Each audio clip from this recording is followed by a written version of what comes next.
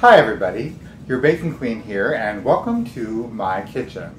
Now there's a little debate going on that how soon do you start pumpkin spice season? Well in my kitchen it's always pumpkin spice season. So the other day I decided to make a pumpkin pie. Oh, it just, look at that, like delicious. What would you do if I told you you could take an ordinary pumpkin pie and turn it into another fun dessert? I'm going to show you today how to make pumpkin pie pops.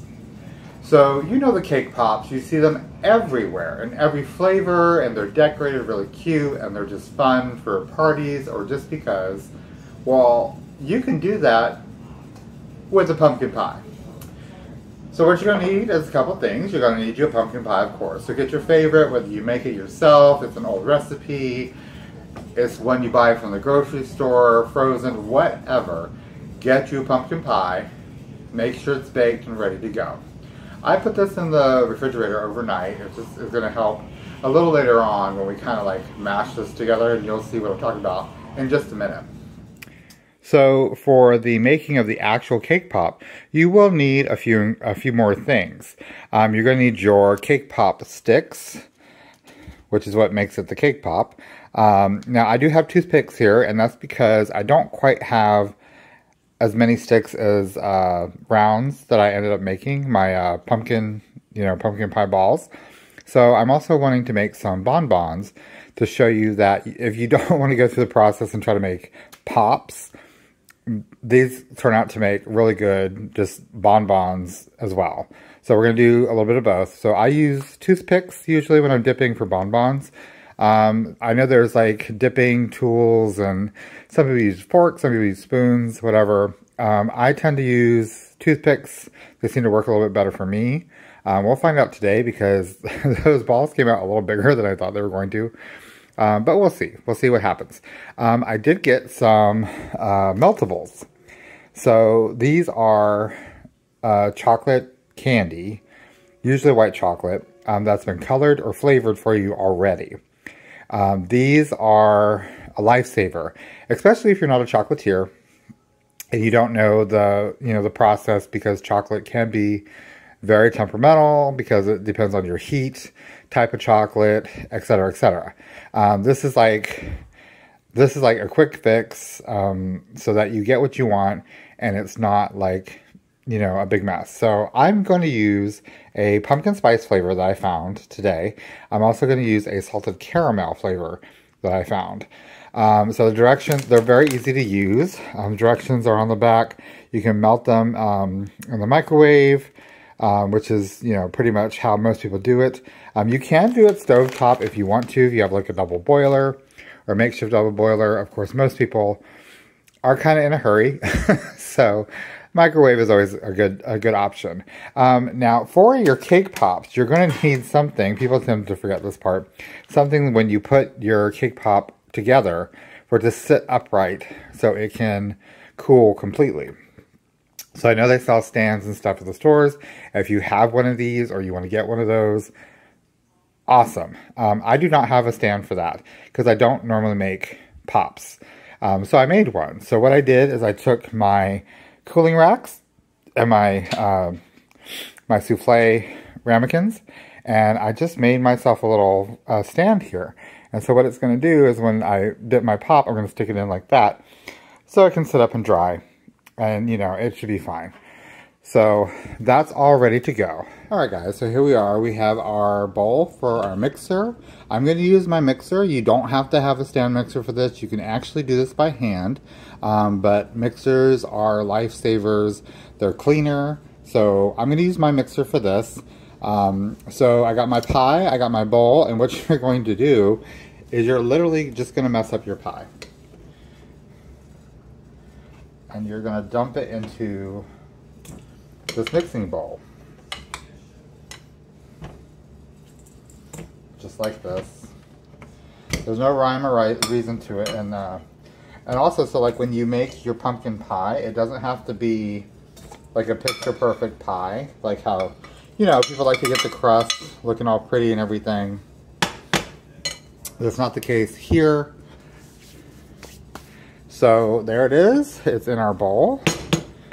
So now let's get this mixed up. All right, guys, so we got our pumpkin in our bowl on our mixer with our beater attachment. So I'm just gonna raise this up. And we're just gonna incorporate it. So we're not like beating it to death. We're just mixing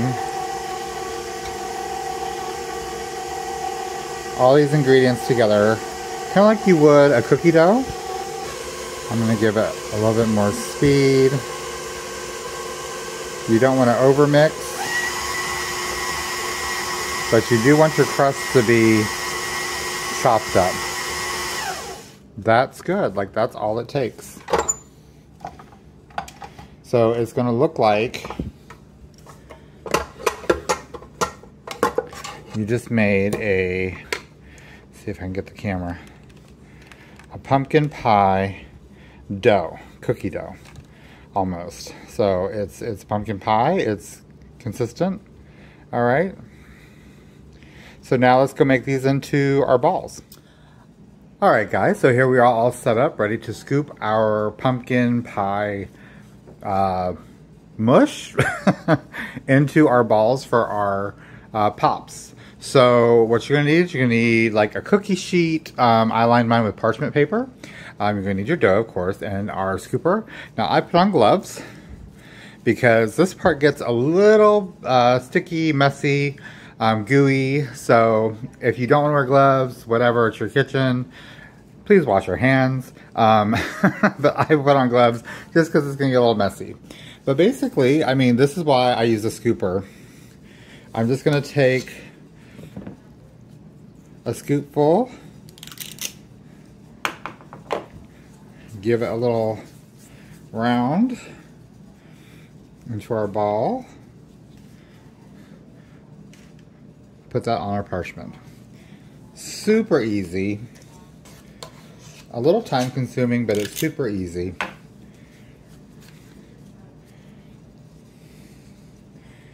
Just make them into these little balls. Now, some people take the dough, or I keep calling it a dough, uh, this pie mush and put it back into the freezer, uh, refrigerator um, to give it a little bit more firmness. I mean, that's completely up to you, depending on how smooth you want your pops to be. If you want them super smooth, yeah, you probably want to do that. Um, I'm not too concerned with that. So I'm just I'm just gonna go ahead and scoop these out into the the cake pop balls.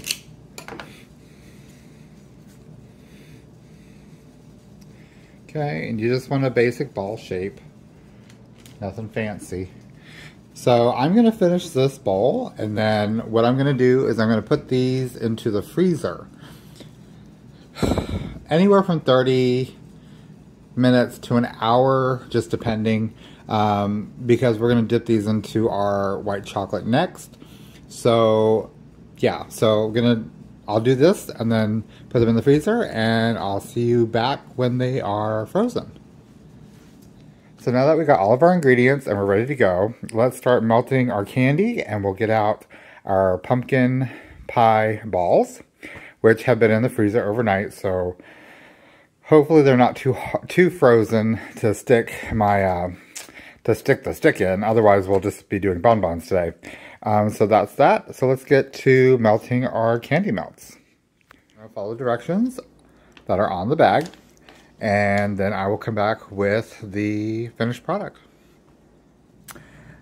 Alright guys, so we've melted down our uh, candy melts. As you can see, it's a nice dipping, kind of pouring consistency. Um, this did not take very long in my microwave.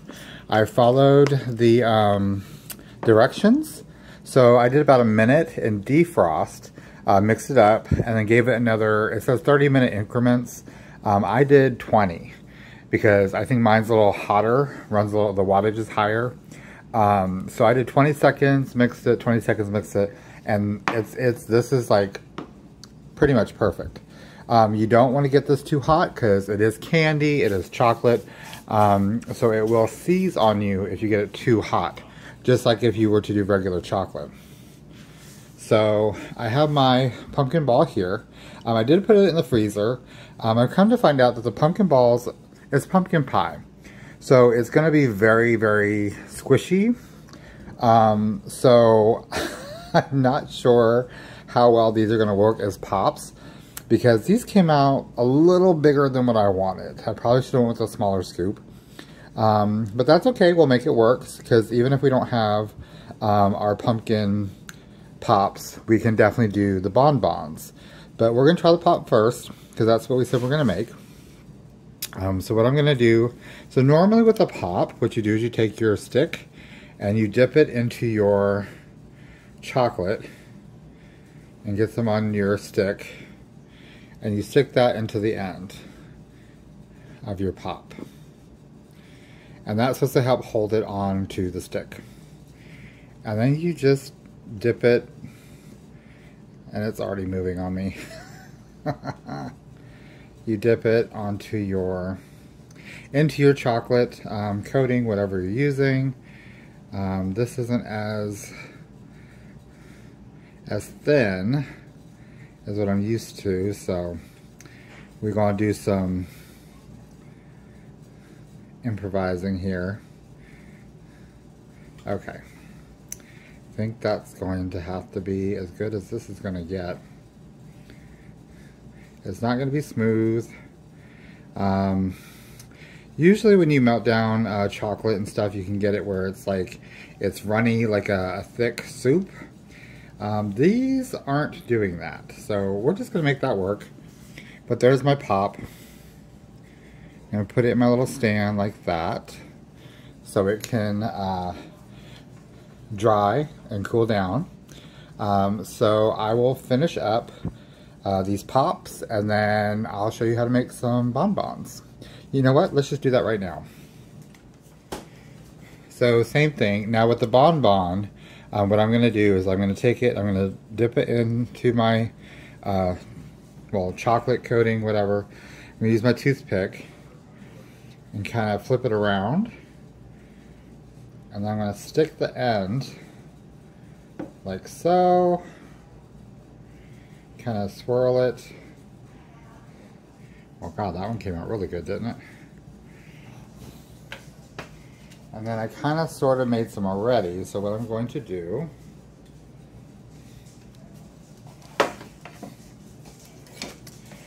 is I'm going to take a fork, lift it off my toothpick. Oh lord. I think I put it too far down on my toothpick. Lift it off my toothpick, place it on my tray,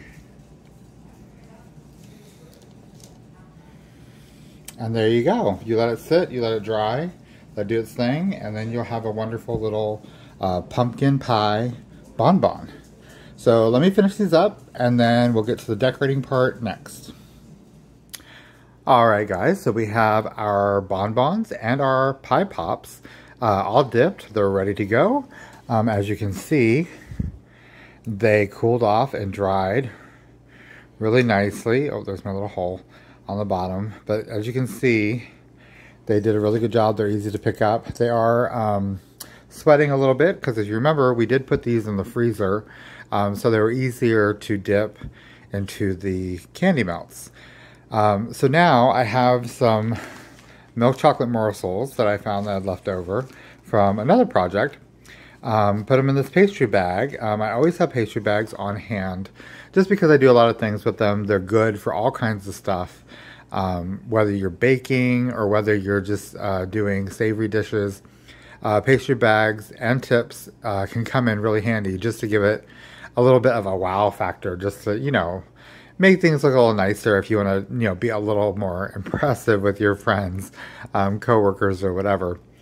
So anyway, I want to differentiate the difference between the ones we dipped in the pumpkin spice melts and the salted caramel melts. So I'm going to drizzle the ones in the pumpkin spice melt with the um, milk chocolate morsels that I have. So all I do is I put it in this pastry bag.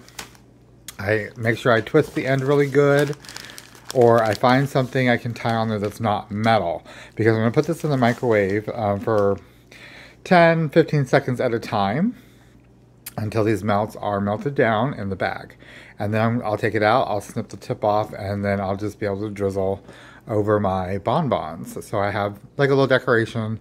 Um, it's really easy, really simple. And then I also can know to tell people which one is which flavor.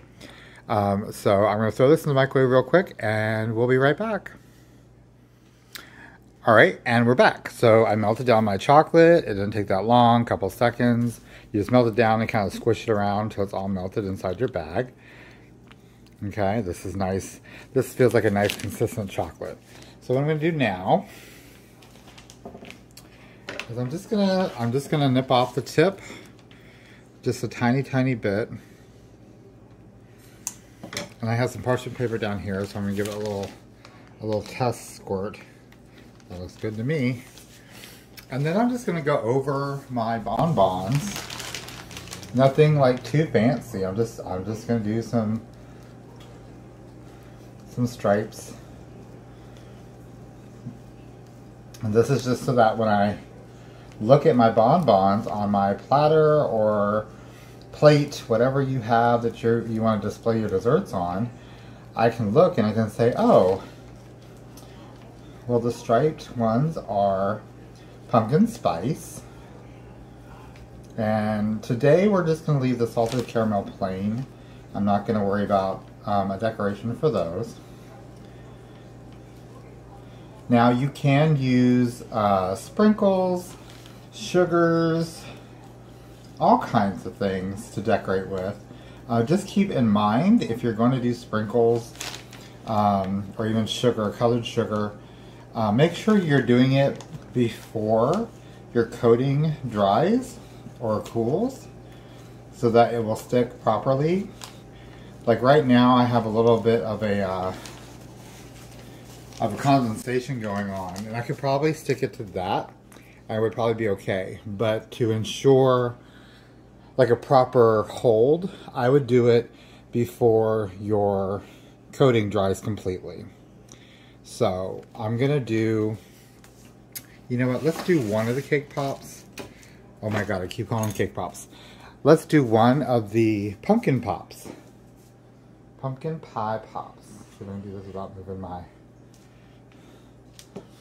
Seems to hold pretty good. They're a little bit bigger than what I wanted. I'll just do a little, a little fun, funsy kind of design. As you can see, you can decorate them however you want. Put them back in my makeshift holder. But yeah, so there you go. And there you have it. Now they're ready just to sit here for a minute, um, dry off, cool down, and then I will show you the absolute finished product all nice and pretty on some plates and displays and whatever. And you know just give you that last little bit. So be right back. Okay guys so here's our finished product. Um, I have our bonbon set up on my tiered tray. Our pie pops are over here in our glasses.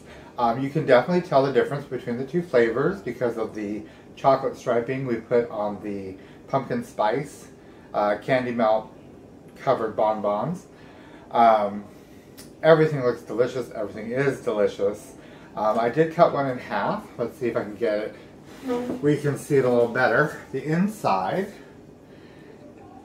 of our pumpkin pie pops and bonbons. It's the pie, it's the crust, it's got a little, a little candy coating on there. Delicious. Um, so yeah, so don't be afraid to be a little experimental with this. Um, today we use pumpkin pie. Um, I would say you'd be able to use sweet potato pie. You would probably even be able to use a pecan pie. Um, those seem to be the top three when it comes to like a holiday pie, more uh, fall, Thanksgiving. Um, but don't be afraid to use that. Don't be afraid to experiment with different coatings and different flavors, um, toppings. Uh, you could, the sky is really the limit when it comes to these things. Um, you probably have seen them all over, uh, you know, the internet, the interwebs, uh, the TV shows, all that stuff. So just get, get into your kitchen, make a mess, have some fun. Um, speaking about making a mess, I'm about to try me one of these, one of these delicious bonbons. Um, so thanks for watching. I hope you've been inspired to try something new and just keep baking.